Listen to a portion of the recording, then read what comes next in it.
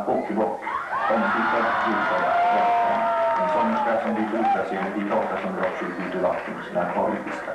Hon är alltså hemma igen i hemlandet, eller hemlandet som det egentligen heter. Ja, hur många år sedan är det egentligen sen ni var hemma på Åkerbock? 600 år sedan. Uh, sen var hemma sist? Fyra år sedan har det blivit nu sammanlagt. Om det är det jag svarar på. Och, och kommer närmast från... Uh, Metropoliten. Åkerbock rör som en fisk på operascenen världen runt, tycker jag sa nyss. Betyder det kanske att vi också får se er på Stockholmsscenen nästa säsong? Mm, Ja, det vill säga. Jag har tänkt ta en drink på Operakällaren. Mm.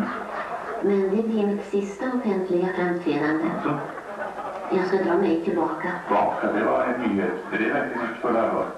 Ja, vet ni vad? Det vill jag.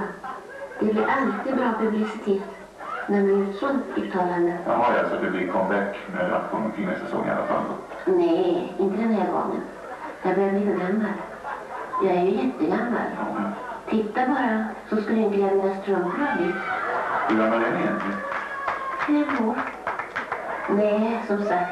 Jag är så gammal nu så jag ska in på museum till hösten. Åh, ja.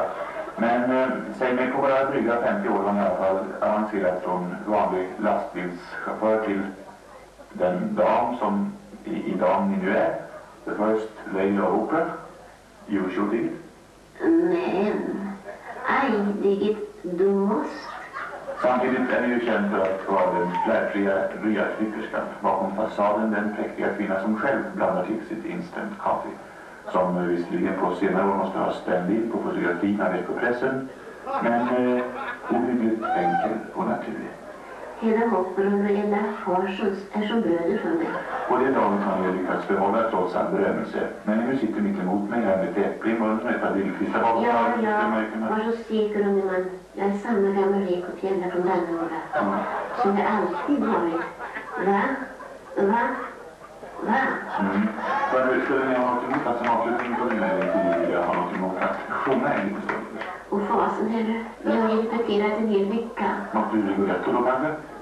Nej, det där är en missuppfattning. Alltså?